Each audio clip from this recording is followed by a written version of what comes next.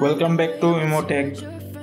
In today's Photoshop tutorial, I'll show you how to use the depth blur option in Photoshop. This is a neural filter. By using this, you can easily add blur to your images. First, we have to go to the filter menu and from there, we can choose the neural filter option. Then from neural filter, we can enable the depth blur option. Photoshop will try to automatically focus the subject of your image. But if you want to change the focus of your image manually you can untick the focus subject option.